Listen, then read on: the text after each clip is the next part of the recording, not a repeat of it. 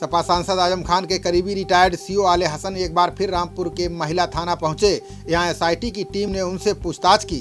बता दें कि आले हसन पर रामपुर में लगभग चौवन मुकदमे दर्ज हैं। आले हसन पर जौहर अली यूनिवर्सिटी के किसानों की ज़मीन पर जबरन कब्जा कराने के आरोप हैं। इनमें कुछ केस किसानों और कुछ मुकदमे यतीम खाने मामले में घोसियाल मोहल्ला निवासियों ने दर्ज कराए हैं। इसके साथ ही कुछ मुकदमे डूंगरपुर बस्ती निवासियों ने भी दर्ज कराए हैं, जिनमें आले हसन पर जमीनों पर जबरन कब्जा कराने के आरोप लगे हैं। एसआईटी के समक्ष पहुंचकर आले हसन ने पुलिस की लंबी प्रश्नावली का जवाब दिया, जिसके बाद आले हसन ने मीडिया से मुखातिब होते हुए कहा कि यतीम खाना और डूंगरपुर में ज़मीन कब्जा कराने के आरोप के मामले में पूछताछ की गई है।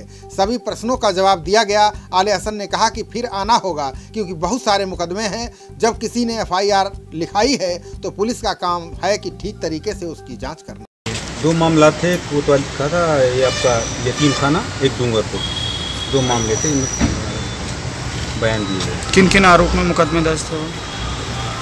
मुकदमे दर्ज हैं कि ज़मीन पर कब्जा करा दिया गया इस सिलसिले में मुकदमे दर्ज हैं। सर सात घंटे हो गए लगभग आपसे पूछताछ करते हुए। हाँ तो जो प्रश्नावली तैयार कर रखी थी उनके जवाब दिए गए हैं वक्त तो लग ही जाएगा। तो सर सभी सवालों के जवाब दे दिए अभी कुछ रह हाँ, गए जवाब दे दिए। कुछ ऐसा काफी- काफ़ी मुकदमे फिर आना पड़ेगा। सर आप तो कुछ खुद मुकदमे लिखाए गए हैं तो जवाब देने फिर आना पड़ेगा। सर आप खुद एक पुलिस के ऑफिसर हैं रिटायर्ड। जी जी। और काफ़ी लंबे समय तक आपने सेवाएँ दी हैं रामपुर में। लेकिन जो मुकदमे दर्ज हुए हैं उन सब चीज़ों को लेकर कोई ऐसे सवाल हुए जिससे आपकी कुछ लग रहा है कि ज़बरदस्ती किया जा रहा है? नहीं नहीं ऐसा कुछ नहीं जवाब तो देने पड़ेंगे। जब किसी ने एफ़ लिखाई है तो यही कहा गया है कि जो इंसाफ की बात कीजिए। आप एफआईआर लिखाई तो पुलिस की मजबूरी है एफआईआर लिखना। लेकिन यही कहा गया कि जो एफ़ है सही तरीके से दीजिए जाँच करिए जो सत्य हो कीजिए जो सच्चाई से ढूंढिए।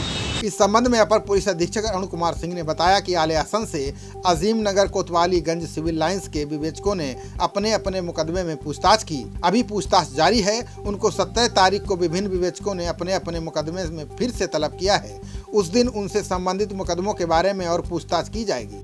आज आले हसन से अजीम नगर कोतवाली गंज, सिविल लाइंस। के विवेचकों ने अपने अपने मुकदमों में पूछताछ की है। अभी पूछताछ जारी है और उनको सत्रह तारीख को विभिन्न विवेचकों ने अपने अपने मुकदमों में फिर से तलब किया है तो उस दिन उनसे संबंधित मुकदमों के बारे में और पूछताछ की जाएगी। खबरों का सिलसिला जारी रहेगा। देखते रहिए जनप्रवाद। नमस्कार।